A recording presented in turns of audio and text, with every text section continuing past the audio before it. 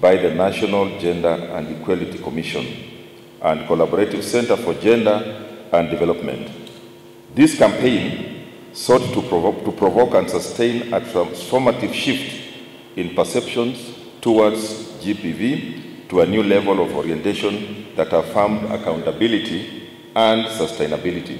Today, I host another high-level partners, uh, high-level partners committed, committed to support my government on GBV prevention and response. It cannot be a coincidence that the second opportunity knocks on my office. I view this as a higher political calling on my commitment score sheet. Ladies and gentlemen, the privilege accorded to our counties, Samburu and Kilifi, of the 47 counties is an opportunity worth utilizing. It comes when the recent Kenya Demographic Health Survey indicates Bungoma as GBV leading county. 60% besides leading in teenage pregnancy in the early KDH survey. So therefore, this program is a timely intervention in strengthening our efforts, capacities as both duty bearers and partners within the GBV referral pathways. This program offers a unique and innovative collaborative model between the two levels of government and reaches out to members of the communities in ensuring that we have safe families and communities. Distinguished members, I created the Department of Gender, Culture and Youth and Sports with a view to strengthening, streamlining gender and related issues. I recognize the support this program accords the gender uh, directorates. Indeed, I have in instructed the department to undertake GBV mitigation measures within the National Action Framework and the best practice.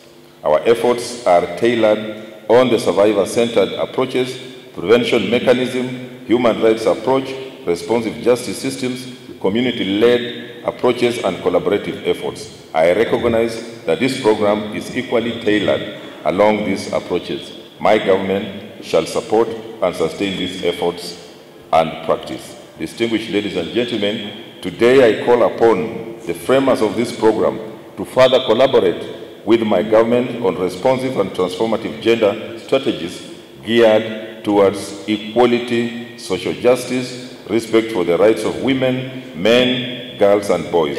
I further call upon actions on unpaid domestic work which, which affect women as family caregivers. I believe we must all appreciate the role our mothers and sisters play in the family and community livelihoods. Ladies and gentlemen, my government will support efforts to end GBV. I hold the view that GBV interventions must be founded on the legislative agenda. The national laws exist which address GBV in the country. My government is in the process of finalizing the gender mainstreaming policy and SGBV bill. The proposed legislations provide for mechanisms on both preventive and responsive strategies. These documents provide for a proposed resource allocation component and contextualized GBV interventions suitable for Bungoma environment. However, the human conscience is mightier than the law. We have to make a deliberate choice to making our communities and homes safe. Distinguished ladies and gentlemen, the national government committed to end FGM by 2022 last year through the presidential order.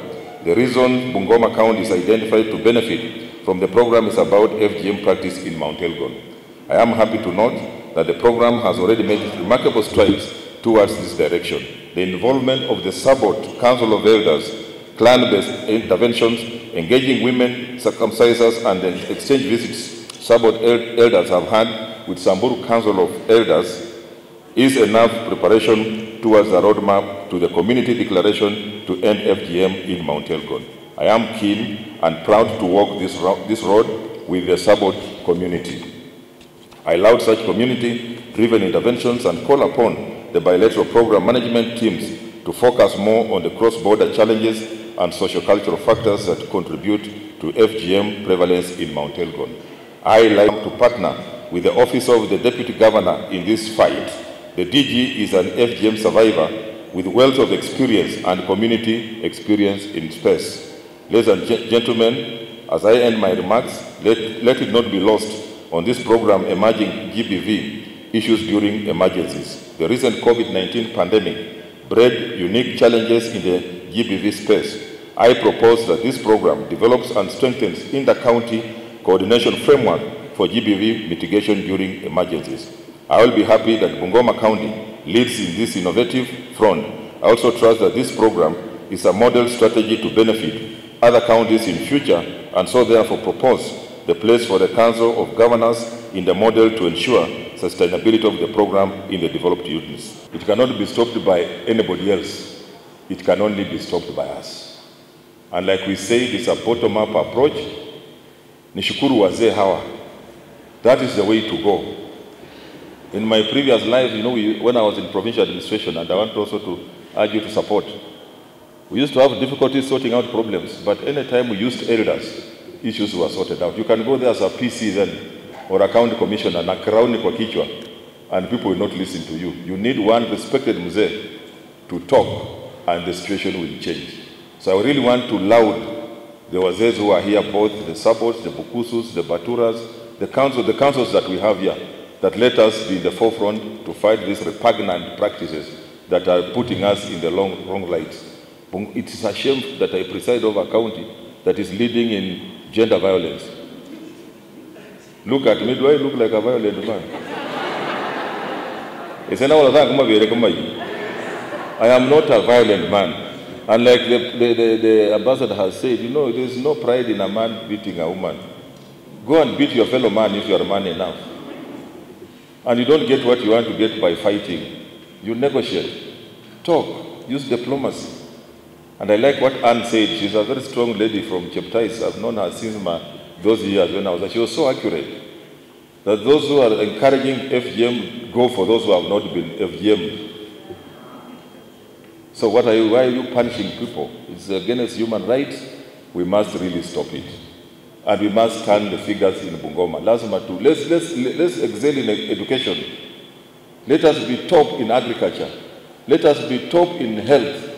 Let us be top in all other things, but to be number one in violence is a total shame. We cannot allow that. It must stop, and you are going to help us stop it.